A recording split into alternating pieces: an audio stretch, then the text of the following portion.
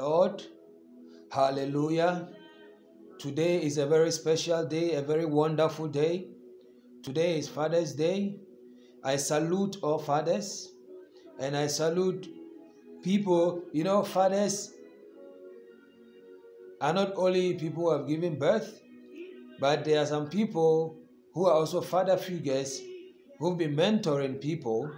We have spiritual fathers, we've got shepherds, we've got people of God who are training people, they are also fathers. So I salute each and every one. And today's today's meeting and today's program is actually dedicated to all fathers. God richly bless you for tuning into Dominion Outreach TV. It's your brother Mark Dodoo, President of Voice of Dominion Outreach. Thank you so much. It is time for Dominion Encounter. And I thank you for coming here and thank you for subscribing. I want you to share it with your friends, share it with your colleagues at work. That every weekend we will always gather here and pray together. And we will gather here and intercede for each other. We will gather here and pray in the name of the Lord Jesus the Son of the Living God. Yes, prayer requests have been coming in. I've been receiving prayer requests and prayer points. And today we are here to pray together with our brethren who have sent in their prayer requests. So if you are here, it's never a mistake being here. In the name of Jesus. Valadi zevekati bradimiku mahatu mili bradimiku. Today, the first prayer request was about someone who wanted the seed of the womb. He wanted the fruit of the womb. So if you are also here with me and you also want the fruit of the womb, today we are here for you and we are here to pray together for the fruit of the womb in the name of Jesus. And it reminded me of the time of Abraham and Sarah the Bible says that Abraham and Sarah they looked for kids, they looked for a child for a very long time, and they were not having them. But the Bible says that when they had a visitation from the Lord, they were able to give birth to an Isaac. So if you are here and you need a child, if you are here and you need a fruit of the womb, I challenge you and I admonish you and I encourage you that today is your day in the name of Jesus. So we are praying today for people who need child, children, for people who need the seed of the womb. In the name of Jesus, I want us to look, look at something from Genesis chapter 18, the story of Abraham and Sarah. The Bible says that, like I said, they needed a child and they've been toiling, they've been doing whatever they need. As a matter of fact, God has promised Abraham that Abraham will be the father of many nations, and he has been expecting that, and it has not been coming in because he knew that he had no child or he had no son. So, how is that? That going to come true? But when the time was right, uh, the Bible says that there was a child, uh, Isaac came to bear, and today we say that Abraham is the father of many nations. We also say that Abraham is the father of faith. Yes, it may toil. Yes, it may take long, Yes, at times it may seem as if the answer is not coming. It may look as if the child is not coming, but I put it to you and I tell you that God never make a mistake and God's time is always the best. It doesn't matter whether you have passed the childbearing age, you are going to deliver in the name of the Lord Jesus. Let us open our Bibles to Genesis chapter 18. Genesis chapter 18, and I want us to start from the verse 10 because from the verse 1 is when Abraham met three visitors. When you read from the verse 1, the Bible said that the Lord appeared to Abraham near the great trees of Mamre while he was sitting at the entrance to his tent in the heat of the day. He was sitting, but when he saw those three visitors, he never hesitated to help them. He took them in he fed them, he gave them something to eat. It was an act of kindness. So I want to tell you that if you need a child, I want you to exercise kindness to each and everyone that you meet. It doesn't matter whether the person is a stranger. It doesn't matter whether the person is a foreigner. It doesn't matter whether the person is not in your league. When I say it is not in your league, some people think that where they have reached, no one has gotten there. There are some people that think that they have everything, and you, because you are in tattered clothes, you you you you are nobody. But I want to tell you that whoever you meet, show kindness to the person. Because showing kindness will open the door for your childbearing. If it is a seed, you can sow a seed in your pastor's life. You can sow, a seed wherever church you are going, or whoever that you may meet, or whoever is your mentor, sow a seed in the life of the person. Wherever church, in your church, sow a seed. And I tell you, your seed sowing will bring forth a childbearing in the name of Jesus. So Abraham did that. He sowed, sowed a seed in the life of the three visitors whom he never knew. It may be people you know may not know, but help them. So let's read Genesis chapter 18, verse 10 to 13. I read. And I'm reading from the New International Version, NIV. Then the Lord said, I will surely return to you about this time next year, and Sarah, your wife, will have a son. About this time next year, you're going to conceive. About this time next year, you're going to have a child. So, this prayer point, this person asking for a child, and if you're also there who needs a child, I prophesy unto your life that about this time next year, you shall conceive and you shall give birth to a child. And you will have a child, you will call him or her your own. I said, This is my son, this is my daughter, in the name of the Lord Jesus. And if you are a man, hoping that your wife will deliver or hoping that your wife will have a child, about this time next year, you will also be called a father and we'll be, we'll be, we'll be, we'll be calling you or we'll be also wishing you Father's Day in the name of the Lord Jesus. So the Lord said, I will surely return to you about this time next year, and Sarah, your wife, will have a son.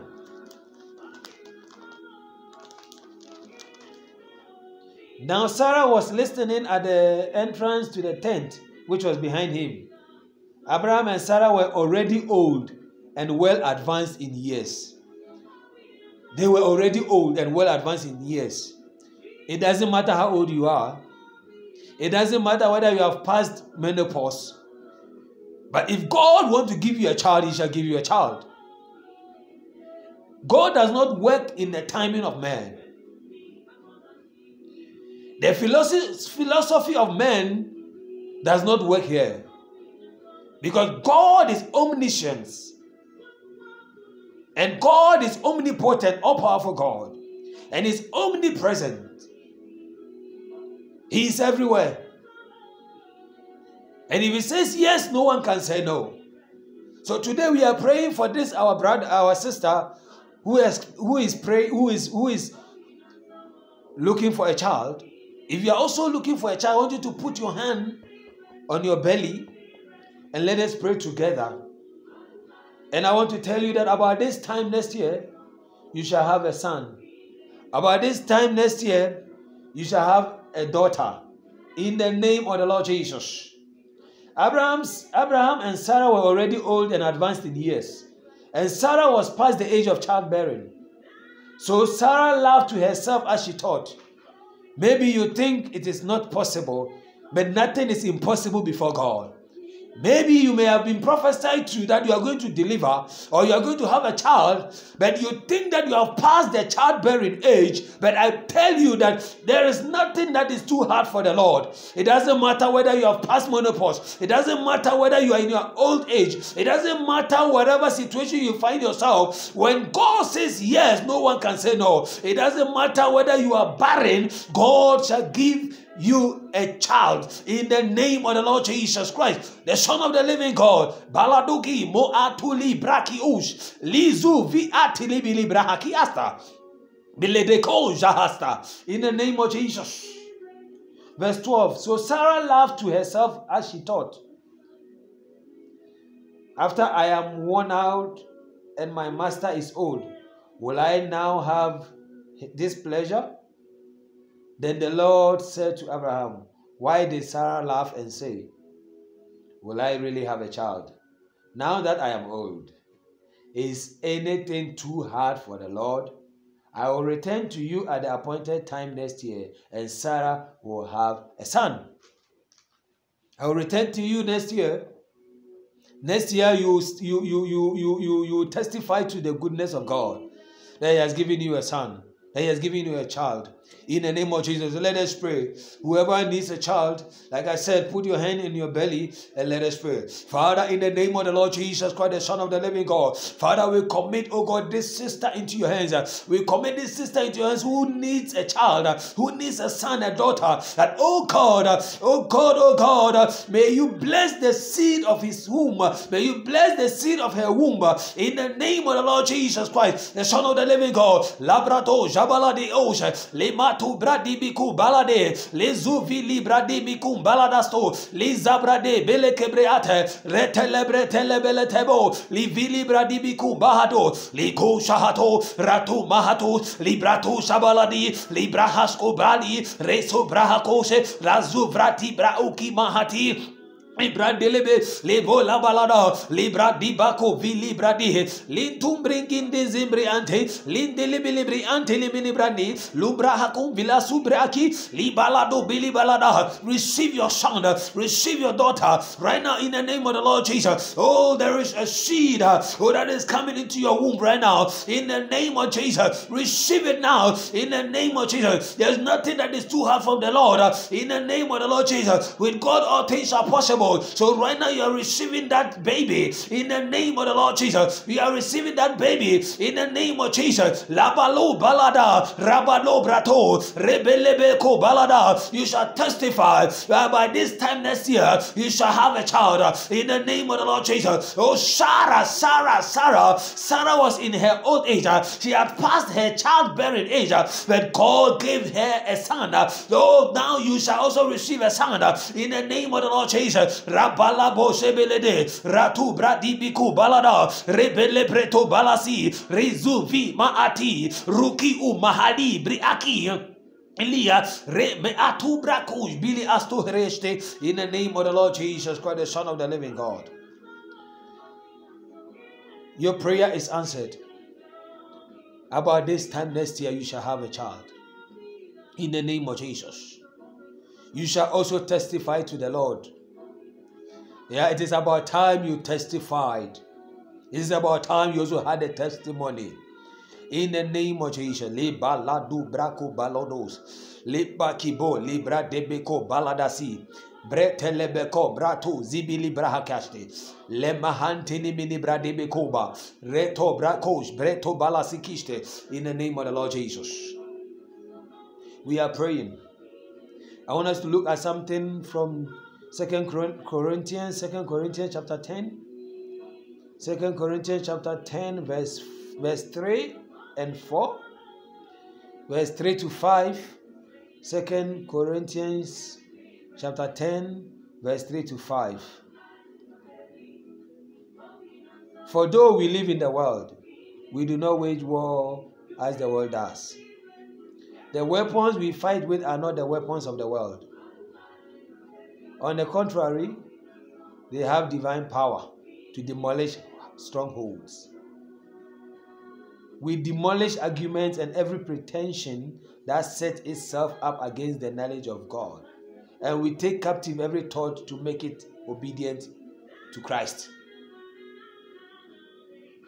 We don't war with the things of the world. The Bible says that for though we live in the world, we do not wage war as the world people does. The worldly people, when it comes to war, they, they want to use swords, they want to use guns. But as a spirit being, we are not of this world. Even as though we live in this world, we are not of this world. And we don't war as the world people war.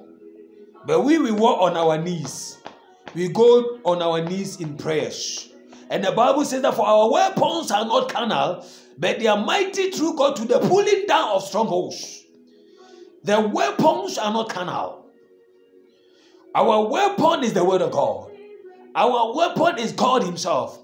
He fights our battle for us. The Bible says in Exodus 14 14, He said, Hold your peace, the Lord will fight for you. So it is the Lord who will fight your battle for you. Because if you know how to fight your, fight your battle, the Lord is not going to fight your battle for you. But leave your battle in the hands of God. But the Bible says that our weapons are not carnal, our weapons are not carnal, our weapons are not on this world, but they are mighty through God.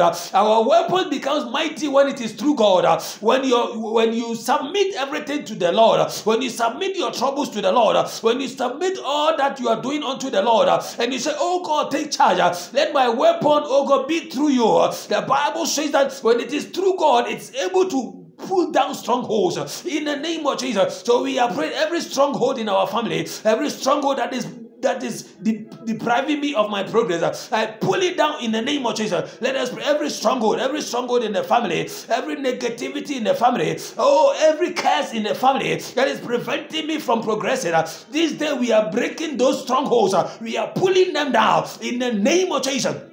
Open mouth and pray with me. Le paladi kumbia, li tu brakisto, le zuva libi libradiki, le zumbrantos kalu brahakia, le zobalados, rasu zibili kradi, reteleme kembra dibili brada, ravalatu brakos, breheste, in the name of the Lord Jesus, every stronghold, every curse in my family, I break it today, in the name of the Lord Jesus, the name that is above every other name, in the name of the Lord Jesus, rato, kito, rem malidu bilu bradi kumbahato ribili brakido mahaladia retebekos brahastostos. Every stronghold in the family. You know, in the olden times or in the olden days,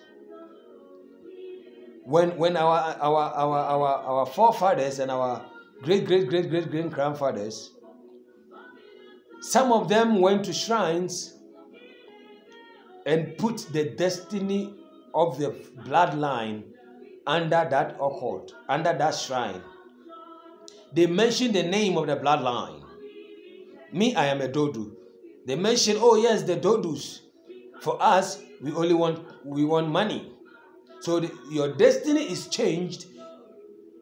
And yes, there will be money in the in the family, but there may not be kids, or there may not be children in the family. In the other way around, others go and exchange their destiny and say, Yes, I want I want kids, so you see, the particular house, there are a lot of kids or there are a lot of children in the house, but there's no money. But today we are praying at every stronghold, that anywhere that our our, our ancestors, everywhere that our forefathers, our great grand, great, great, great fathers went to and put the family under that particular thing, under that particular cause, uh, we are breaking that covenant in the name of the Lord, Jesus, that stronghold. We are breaking that covenant uh, that was hard with the devil. That today we are breaking that covenant. Uh, we are not under that covenant in the name of the Lord Jesus. I want you to open your mouth and pray that every covenant that our great grandfathers went to, that that oh in this family you see that yeah they can get married but when they get married there's a divorce. Ah, this marriage this house, you see that this house, there's a lot of money, but there are no kids. You see that this house, there's a lot of kids, but there's no money. We are breaking every covenant that our fathers or our forefathers made with the devil. In the name of the Lord, let us pray. Rabatu brakebo le belebre rabali valu brakuvi, le matu brakish, reki shahate, reko in the name of the Lord Jesus. Every covenant uh, that my forefathers, uh, my great great grandfathers uh, made with the devil uh, and put the name or the bloodline uh, of my family uh, onto that particular shrine. This day, I break that covenant in the name of the Lord Jesus. I break that covenant in the name of the Lord Jesus. It doesn't have power over us. In the name of the Lord Jesus, oh, we have covenant with Jesus. In the name of the Lord Jesus. And I'm praying that covenant is broken. Any altar in the family, any altar that has been set in the family, sacrificing people's life, today I am not part of that sacrifice. In the name of the Lord Jesus, that altar is broken. Let, us break that altar. Any altar in the family that people are being sacrificed, that that, that, that family members are being sacrificed. We are breaking those altars right now. Le balada bakoshe, le brate beko brado, le malada kazu brakiste, le mata liku milato, remeko bele de le baladiku mahato, rimini antenemi. In the name of the Lord Jesus. God richly bless you for tuning in. Next week we're gonna be back again. Like, share it with your friends, subscribe Press the bell button for future notification. I love you and I know you love me too.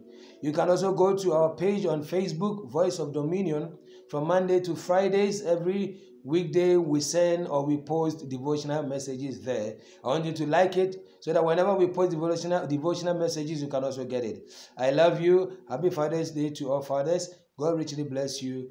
Thank you so much. We will come back again next week keep on putting or keep on leaving your prayer request on the comment section and we will always pray with you. Me and my team we will always pray for you pray with you. Thank you. Don't forget your act of kindness can bring you a child.